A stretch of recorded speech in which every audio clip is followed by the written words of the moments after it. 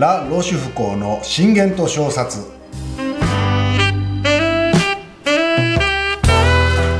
モンテーニュの随想録やブレズ・パスカルのパンセと並ぶフランスのモラリスト文学の古典的名著と言われています。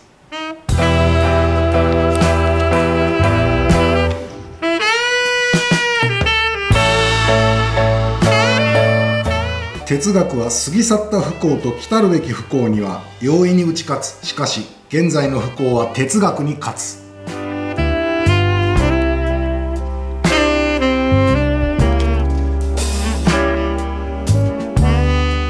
死を知っている者は少ない。人は普通の場合決意によって死を耐え忍ぶのではなく愚昧と習慣による。そして大部分の人間は死なざるを得ないから死ぬのである。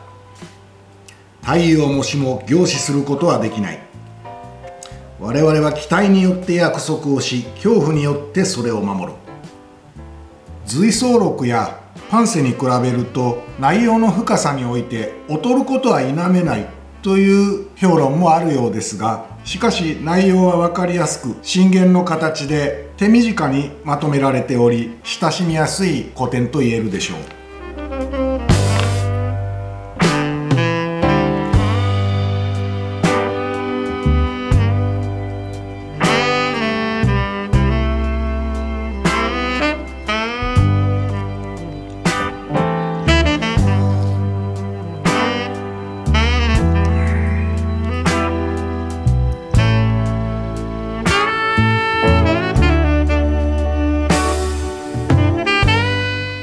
は自信のない人間の最も確実な方策だ。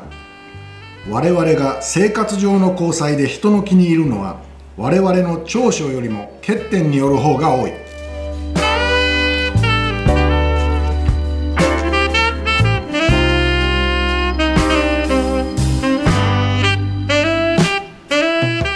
哀れみの情とは他人の不幸を介して自分自身の不幸を顧みる気持ちであることが多い。我々が将来陥るかもしれない不幸に対する巧妙な先見の明なのだ。我々が他人に救いの手を差し伸べるのは我々が同じような不幸にあった場合に我々にもそうしてくれることを彼らに覚悟させておくためである。だから我々が彼らに捧げるこのような奉仕は本来から言えば我々があらかじめ自身のために利益を図ったことになる。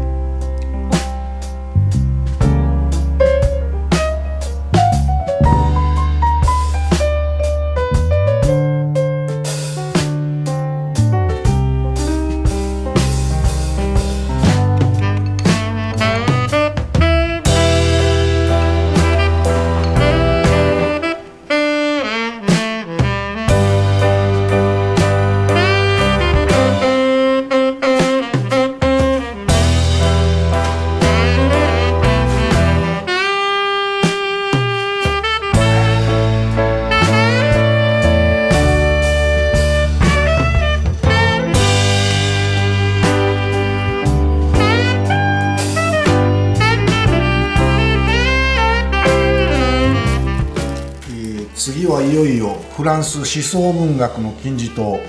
ブレーズ・パスカルのパンセです。